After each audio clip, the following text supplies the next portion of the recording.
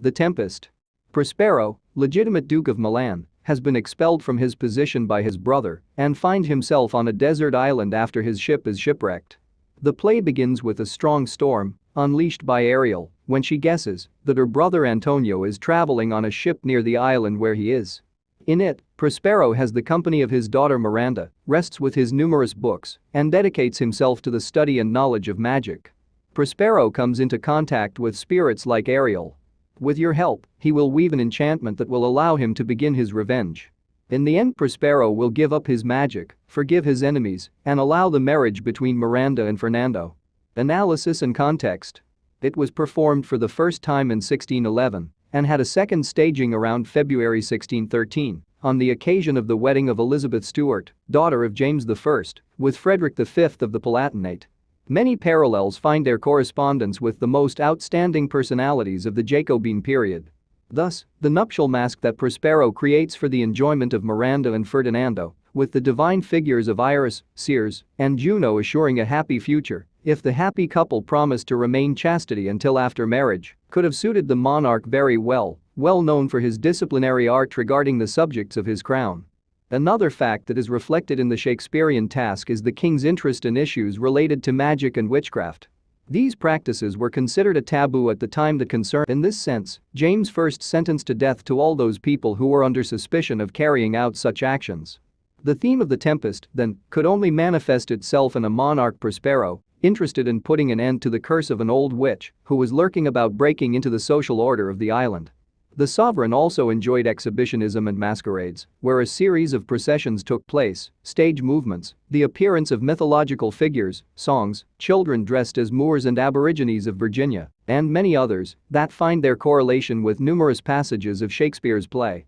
As for the setting of the events, it is necessary to point them out in the atmosphere of a new era of travel and discovery. Already towards the reign of Elizabeth I, tumultuous boats undertook their journey to America. Upon arrival, the English settlers found a primitive people cloistered in a powerful society of barbaric customs, which always stood in the way of their imperialist pretensions. To all this, a large portion of adventurers and men of letters used to join the company for purely illustrative purposes and as a way of keeping the British crown informed of the movements of an unexplored environment. Travel books served many authors who started from the base of a pagan land, uncivilized and open to endless myths and legends that spoke of the existence of ferocious monsters and cannibals who practiced black magic to destroy the white Europeans. Who they held their domains. This is the reason why, perhaps, The Tempest knew how to adapt to the intrigues of the moment and thus differentiate itself from the rest of Shakespeare's dramatic production. The role of slavery and the domination exercised by the colonizers over the lands they discovered was translated into the world of theater and, of course, into the universe of Shakespeare. Given the imminent situation of a country that sought to spread its wings and compete with the Spanish Empire, the gain and usufruct of American lands was presented as the best option for the British monarchist pretensions.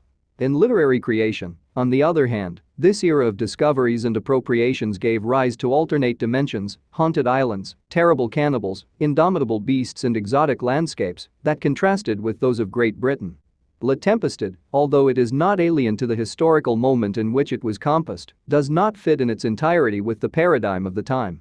Its plot, structure and characters are confusing, giving rise to a large number of interpretations by traditional critics.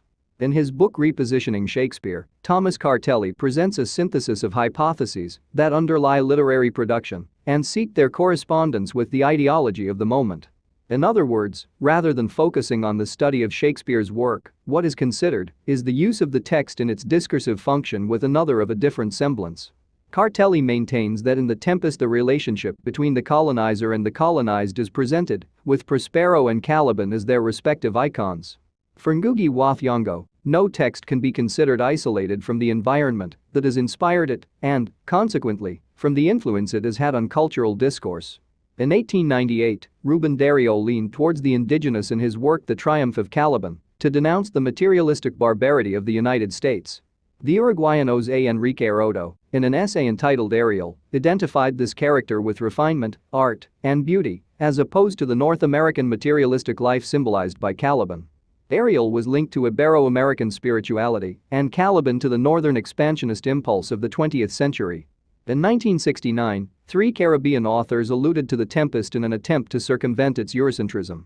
A review of Prospero in this aspect brings us to an enlightened European, rational and cold in his strategies of conquest. Caliban is also Africa, Sycorax's native land, is the terrain in which the analysis of Caliban has been addressed the most.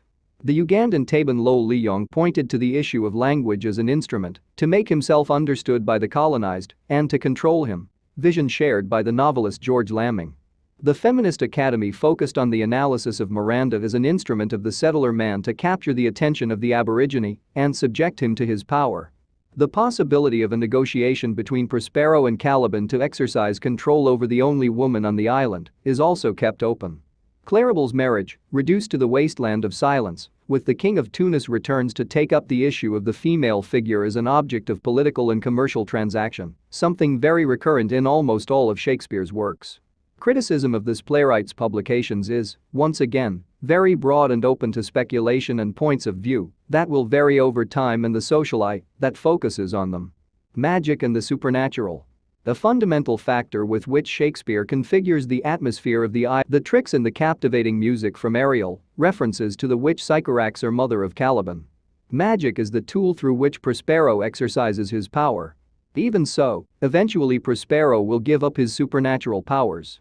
Without making it clear why, the audience can assume that it is because he has already recovered the dukedom that was stolen from him, even his daughter will be queen of Naples.